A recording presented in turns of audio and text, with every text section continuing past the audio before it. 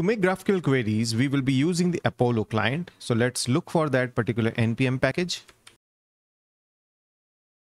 So this is the NPM package that I'm looking at. Let us quickly install that.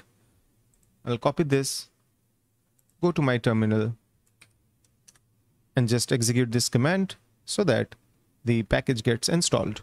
Now, while this is, okay, that's already done. So maybe what we can additionally do is go inside our pages, create a new products page.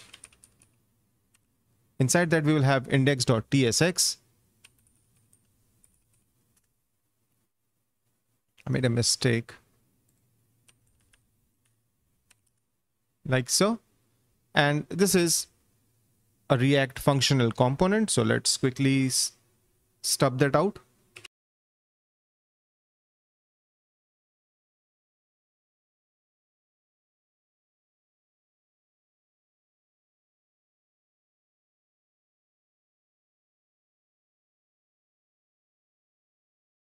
All right, so we have this and what we will additionally need to do is make the query inside get static props.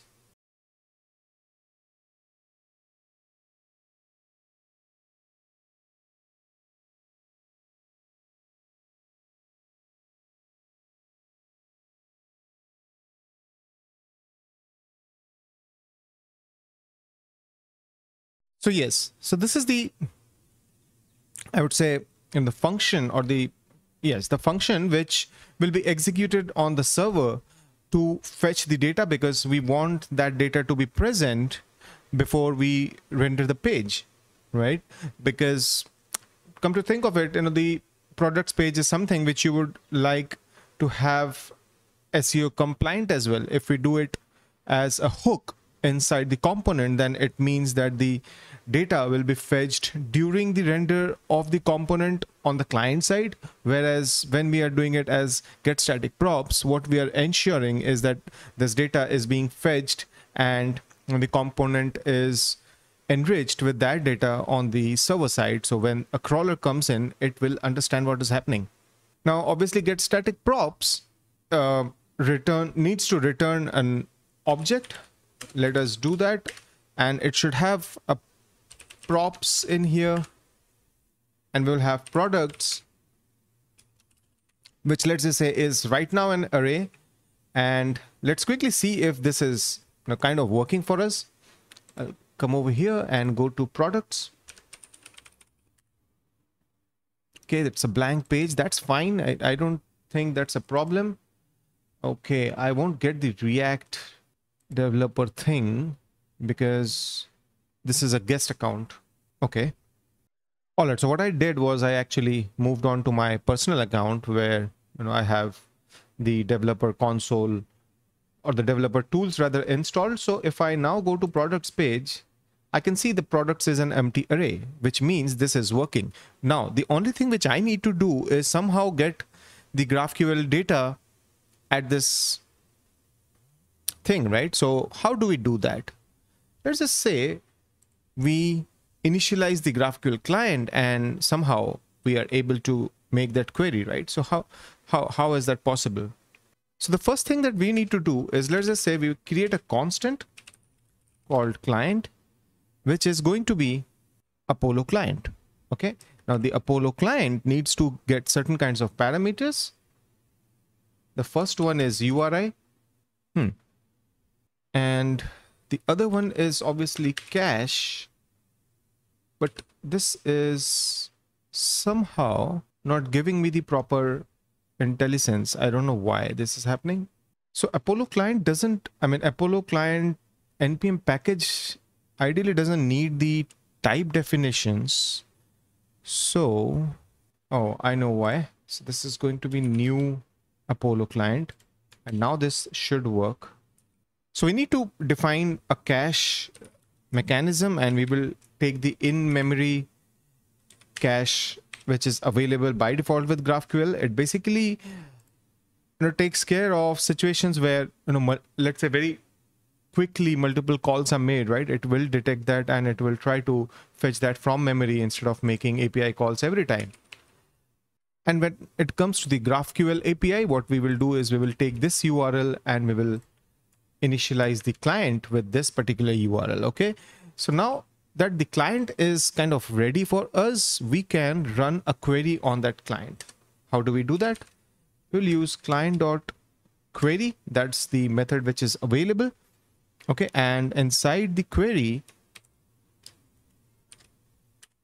I can have a property called query, which will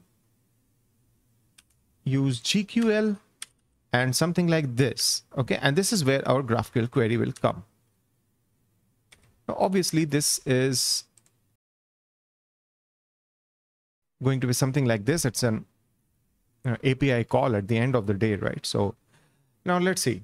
If we want to fire something interesting, what can we do? So query products. That's the basic that we want to do.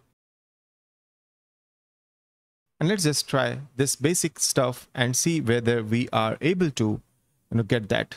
So I'll copy this thing. Let's prettify this, copy, and I'll paste it over here. Right. And then let's try to maybe console the stuff. Yeah, let's do that. Okay, and obviously that will be visible in the console because this is a server-side thing, but still we can hit the URL and we have data. Data has type name product list and items. This is correct. So basically what I need to do is come over here and do something like constant response and what all things do we get? I get data, I get loading,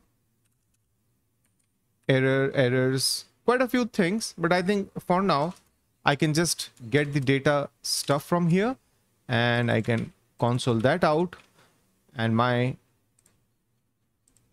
ex expectation is that the object will be visible. Yes. So why don't we do one thing? Why don't we pass this over here as products? Get rid of this console. We don't need it anymore. And now if I go to my page, okay, I can see that the entire products thing is available. Maybe I will also you know drill down to items because I don't need the this type name. I know what is expected. So just get the product thing. Okay, it is returning an error. I think what I'll have to do is no, that's a bit strange. Okay. Uh, let's see why this is complaining.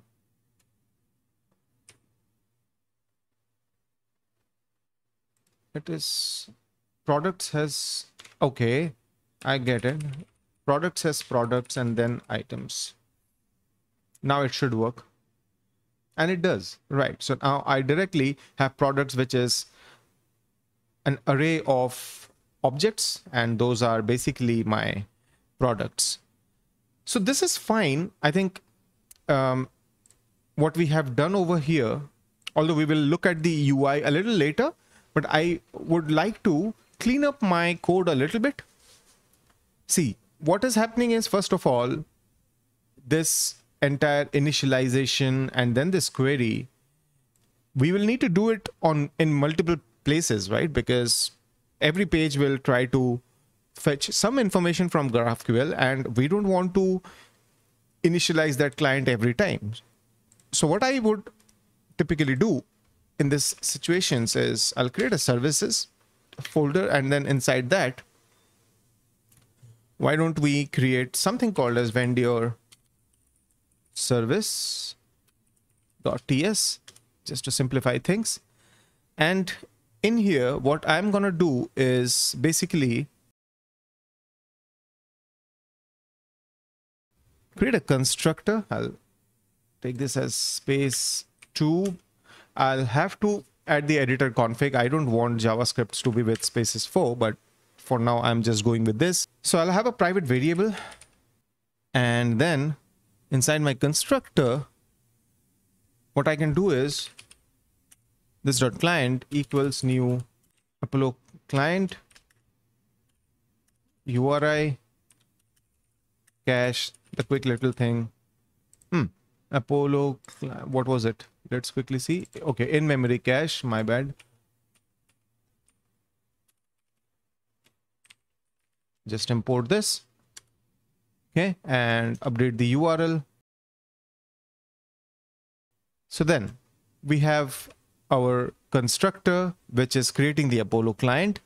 And then we can have different methods available inside our services, which is responsible for fetching certain kinds of data. So for example, we do public fetch products. Okay, it will be used to return the data. I'll also type in it. It will be a promise of type Apollo query result. Okay. What is happening? Okay. Yeah. It won't accept it right now because first of all, it needs to define the return type. So constant response equals await this dot client query exactly what we have done over here, right? So we are actually just taking this out and putting it here. I need to import this. Right and obviously I need to return otherwise it will continue to give me an error so this is return await this I have async this is all fine and inside here my code simplifies a lot. I have constant gq service equals new Vendure service something like that. And then I can do something like constant. Okay actually never mind. I can switch this with gq service dot fetch products. Okay no. I'll have to let's do one thing this is going to be constant response and I don't want to you know basically complicate things and hence this is response return response dot products. Maybe I can do that. No? Hmm. Okay. Let's just first of all do constant data equals this. Let's quickly understand what is happening over here and then we can you know, modify it. That's not a big deal. Okay, so it is not returning something which is easily parsed by GraphQL. Why, why is that happening? I need to check. Let me see. So this is fetch products. Let me console that out. Is there any problem with this particular data? Okay, this is fine. And then if I do data, okay. So I need to console the data and also I'm passing that. So I think now this is going to work. No, it still doesn't. Um, why is that? That's a little weird now. So I have response dot. When I'm looking at it, right. So I am getting this and then ideally I should have been able to do this, but maybe with an await. That's the reason I was right, right. So my bad. This was the problem of await. I was not writing the await and hence it was not able to get that. So I have products and this, which means now I can do something like again, products dot items and I will get the data directly over here as expected. And right. So inside the you know component actually I am going to get everything. So for example, if I quickly do something like interface what do we have products right products is an array of for now we don't have the definition so i'll do unknown okay and then i'll have to pass this over here and do products. And quickly let's just do products dot map. I'll have to first do a check products dot length. If it is greater than zero only then do a map. And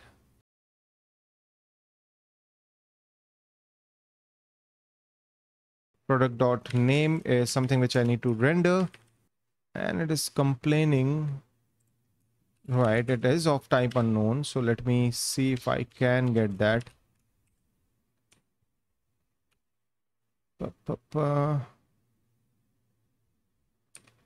If I do any for now will this work?